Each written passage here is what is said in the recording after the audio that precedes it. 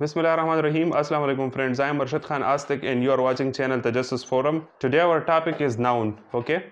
Noun is the first part of the list of parts of speech. Okay.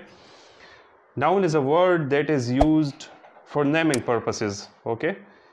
We can say in detail that noun is the name of person, place, thing, animal, action, expression, etc. Okay. Noun has basically 11 types, okay? we are going to elaborate and discuss them in detail one by one okay?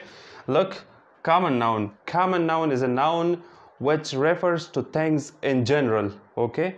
And this we actually don't target someone specifically okay? This refers to general things. For example if i say boy girl city okay? Now these are common nouns because this doesn't tell us about a specific person or specific place okay? Now coming towards the proper noun these same nouns can be turned into proper if we specify a thing okay? For example if i say ali instead of boy okay? Now each and every boy surely can't be called ali okay? Ali will be a specific boy so now in case when i use the word ali this noun is now proper okay? Similarly if i say shehla now surely each and every girl can't be shehla. Shehla refers to a specific girl. So now shehla can't be called a common noun okay? Shehla is basically a proper noun. Okay now if i say peshawar so each and every city cannot be Peshawar. Okay, Peshawar is the name of a specific place. So Peshawar is a proper noun. Okay, this was the difference between a common and a proper noun. Okay, so I hope you will have got it. Now coming towards the abstract and concrete noun. These are opposite to one another. Okay, abstract noun means the noun of things that you can't touch, that don't have a physical body. Okay, for example, love, hate, fear, happiness danger okay? All these nouns are abstract nouns. On the other hand concrete noun is the noun of things that you can physically touch that hold bodies okay?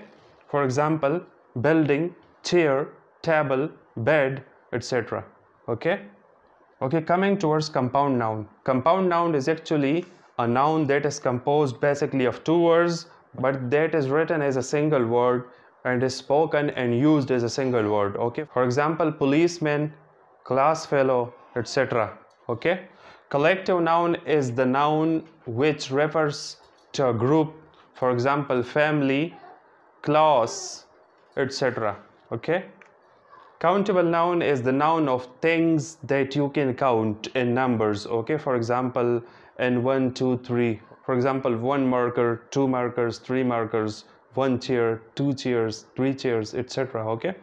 On the other hand uncountable nouns are the names of things that is impossible to count in one two three okay? Instead we can use specific units for their measurement like for example liter kilograms etc okay? The examples of uncountable noun includes water honey milk air etc okay The next pair of noun consists of nouns singular and plural. Singular noun refers to thing that is only one in number, while plural noun refers to things that are more than one in numbers. Okay? For example, if boy refers to one person and another hand boys refers to more than one person then boy is a singular noun and boys is a plural noun. Okay similarly chair is a singular noun while its plural is chairs okay etc now finally coming towards the last one kind of noun that is material noun. Material noun refers to the names of materials of which things are composed okay. For example wood uh, steel plastic cement etc okay? Okay see you in next video. Till that goodbye